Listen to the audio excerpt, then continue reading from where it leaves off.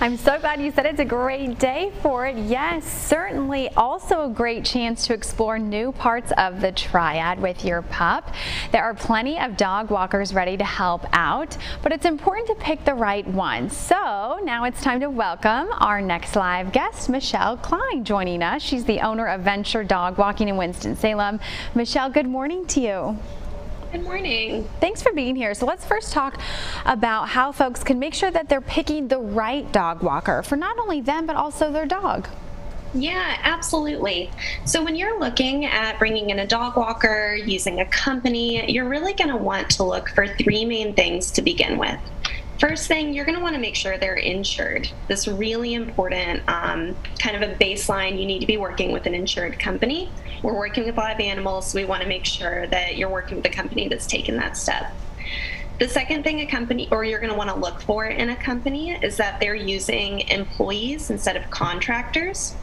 When a company is using employees, you can have a higher level of certainty that they're training their people, they're providing equipment, they're really looking at that really high level of detail and standard for the service they're providing. And then the third thing you want to make sure when you're looking for a company is that the company has taken the time to really think through their policies and procedures. What do they do if somebody calls out? Um, who's taking care of your pet then? How are they documenting exactly what needs to be done? So, taking the time to ask these questions on the front end can give you a lot of information. And then that was, you know, the specific dog walker. Um, how does that kind of, when you complete those three tips, is it kind of just goes hand in hand to making sure that the walker is a right fit for the dog? Or how would you say that that lines up with the process?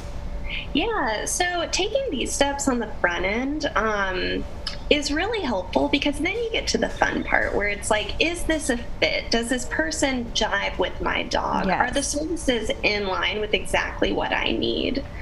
Um, so once you have all your bases covered, it is more about do I have a genuine connection with this person and do they have a connection with my animal? And the great thing about going with a professional company is they've done a lot of that work on the front end for you. So they're sending in people who are a great fit already. And then do you have recommendations of ways that, you know, people can weed out the dog walkers that might not be the right fit? Yeah, so taking those three steps I talked about on the front end will naturally weed out a lot of them. Okay. Past that, um, people should feel really comfortable interviewing the dog walkers they're considering using even multiple companies at one time. Um, we really encourage our clients to do that because we want to make sure that we've really that we're the right fit for what they need. Um, and sometimes another company is, you know, we just want to make sure that there's that rapport and that relationship. So we encourage people to do that on the front end or really look for what they want. And then talk about some of the favorite places um, to walk our dogs in Winston-Salem and the Triad. Explain these pet adventures. Is that what you call them? yeah. Um, so one of our specialty services is we offer pet adventures. We do both dog park trips and off-site hikes where we pick up your dog and take them on a 90-minute adventure. Wow. Bring them home nice and tired. It's very cute, a lot of fun.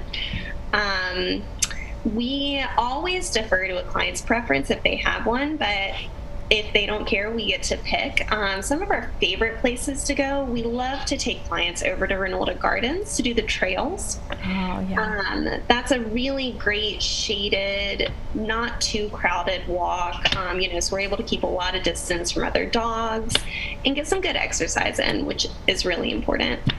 Um, and then past that, you know, Tanglewood is a wonderful option, Salem Lake, Muddy Creek, just taking advantage of all of these really awesome outdoor areas that Winston-Salem offers. Yes, there are so many. Michelle, it's been great to have you on our show. Thank you so much for your time. And folks at home, if you missed any of this helpful information, you can always find out more about all the dog walking, adventure trips, and other tips Michelle and her team provide. You can visit the website on your screen, venturedogwalking.com.